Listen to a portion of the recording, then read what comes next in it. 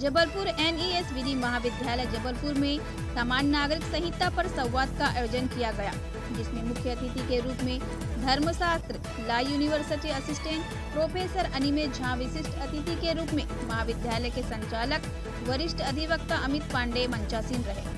मंचासीन अतिथियों का स्वागत प्राचार्य श्रीमती डॉक्टर मनीषा जायसवाल, सहायक प्राध्यापक सुश्री पी श्रीमती प्रियंका तिवारी डॉक्टर दीपिका चौहान खुशबू सिंह संतोष साहू ने पुष्प गुच्छ भेंट कर सम्मानित किया। कार्यक्रम का शुभारंभ अतिथियों ने दीप प्रज्वलित कर माँ सरस्वती की वंदना करते हुए किया।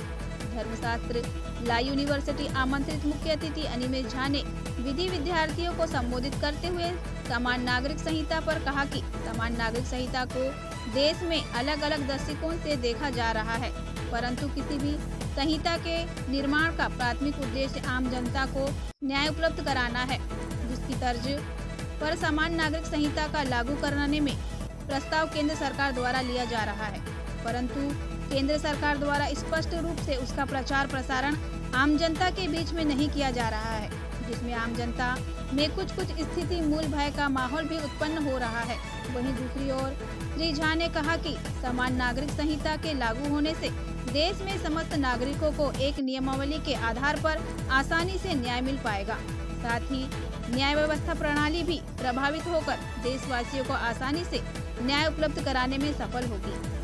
जयराज चौधरी की रिपोर्ट। आज़ाद हुआ है लॉस को लाने के लिए हमेशा से प्रयास रहे हैं। लेकिन ये मैं मानता हूँ कि पुरानी सरकारों में वो इच्छा शक्ति नहीं रही है।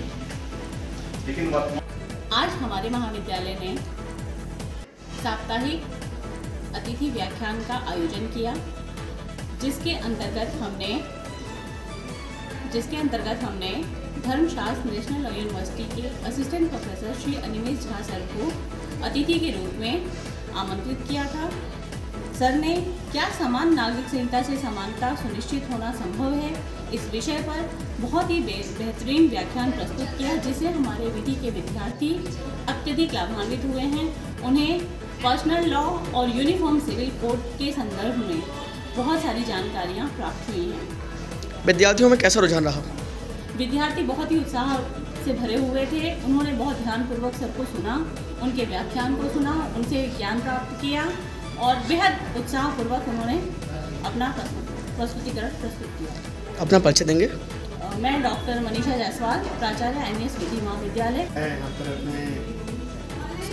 में आकर के और यूनिफॉर्म सिविल कोड जिस पर चर्चा अभी पूरे भारत में चल रही है। हाल में लॉ ऑफ़ इंडिया ने भी कहा है यूनिफॉर्म सिविल कोड के लिए वो कंसल्टेशन प्रारंभ कर रहे हैं। और एक ही विषय है हमारा जो हमने आज बच्चों को भी सामने रखा कि जो यूनिफॉर्म सिविल कोड है, उसके आने से तीन बहुत महत्वपूर्ण लाभ हम लोगों को मिलने वाले हैं। पहला है राष्ट्रीय एकता सुदृढ़ होगी इससे दूसरा, महिलाओं को हम आगे ला पाएँगे, उनके साथ जो न्याय होना चाहिए समाज में, पारिवारिक संबंधों में, उसको हम लोग निश्चित कर पाएँगे। अल्पसंख्यक महिलाएँ हों या जनजातीय समाज से आने वाली महिलाएँ। और तीसरा है कि यूनिफॉर्म सिविल कोड से अलग अलग कानूनों से के कारण जो दुविधा आती है, जो समस्या आती है अलग अलग कानूनों के इंट्रैक्शन से। उससे हम लोग बच पाएँगे और एक समानता स्थापित कर पाएँगे जिससे कि कोर्ट की प्रक्रिया जो न्यायालय की प्रक्रिया है वो भी आसान होंगी। किसी को न्याय चाहिए वो समय पर मिलेगा जल्दी मिलेगा आसानी से मिलेगा। कानून जो है सभी के समझ में आएँगे सभी के लिए आसान होंगे सर यूनिफॉर्म कोड लागू होने से आप जो आम नागरिकों की असमंजसता है उसमें क्या प्रभावशील होगी? मेरे विचार में कि यूनिफॉर्म सिविल कोड आने से आम नागरिक का जीवन सरल होगा। क्योंकि उसको बेहतर समझ पाएगा जो कानून इस पर लागू हो रहे हैं। अभी के समय में जो कानून है, वो इतने अलग अलग हैं, इतने भिन्न हैं कि सामान्य नागरिक के लिए समझना, उसका पालन करना बहुत कठिन है। लेकिन यूनिफॉर्म सिविल कोड आ जाएगा तो उसको समझना और पालन